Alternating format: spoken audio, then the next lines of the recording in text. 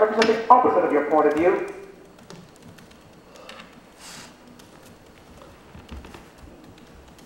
And characters who represent some passing facet of your point of view. Some passing facet?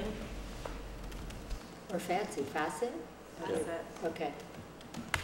And if you ladies are not going to go into that, but Oh, and if you ladies are not gonna go in for that, but, but, Yeah. but I'm just going to go in for a lot, for a lot of but I just, I just gotta go in for a lot, a lot of, Nice shoes. Thanks. maybe pick it up a little just so we can do some cleaning.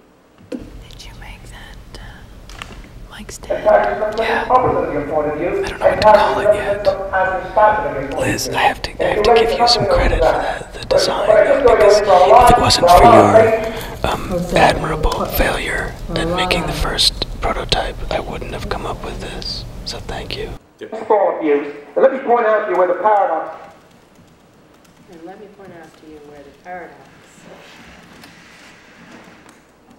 of male and female violence takes place. of male and female violence takes place. When a man and a woman have a bitter, furious, violent quarrel, When a man and woman have We got it. We're back in. there comes a point if a man is stronger, as he usually is, not always, but Well, usually, as, as he usually is, not it.